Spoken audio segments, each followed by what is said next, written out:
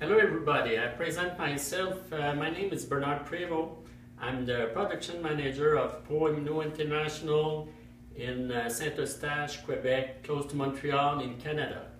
Uh, we are in a food industry, a protein industry, and uh, we just buy a new uh, wafer line uh, from Longer Machinery in China. So they send a, a team to help us to fix and to install the machine here. After a few days, uh, everything's finished, everything's working good, product's working good, machine is working good. I'm very satisfied. So I want to thank the Longer team for everything, every help that they give us. We are very happy with it.